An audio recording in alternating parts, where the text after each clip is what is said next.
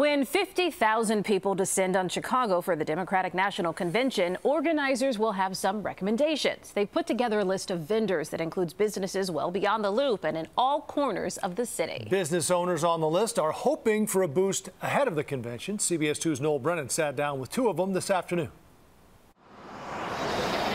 most of all, we're placed for the community. Any business, new or old, long-standing restaurant in the city of Chicago, just wants to get noticed. This is our dining area. Whether it's a new cafe in South Shore or a vegan staple in Chatham. We are part of the city of Chicago. Some people refer to us as the Miracle on 79th Street. Dwan Martin opened Urban Lux Cafe two weeks ago. We're a place that does not exist around here where the community can come together and convene. Over in Chatham. And you feel home away from home. Arel Israel and his family created community space decades ago at Soul Veg City. I wanted to bring the people here to this location so that they can see what a community business actually look like and feel like in the community. Both businesses are getting a nod from organizers of the Democratic National Convention. We invited them in and they actually had their first meeting here yesterday with us. Urban Lux Cafe hosted the Chicago Host Committee Thursday. Right in this very room. The same day, the DNC unveiled a list of vendors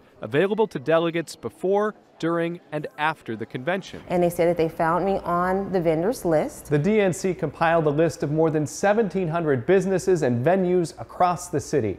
They say more than 70 percent identified as diverse. We are diverse. Chicago is extremely diverse, you know, so we can get a representation of every area. Urban Lux Cafe and Soul Veg City are on the list and hoping to get noticed. I want to be able to host some of the events here at this current location. I'm hoping for more business, of course, and more opportunities like that. Noel Brennan, CBS 2 News.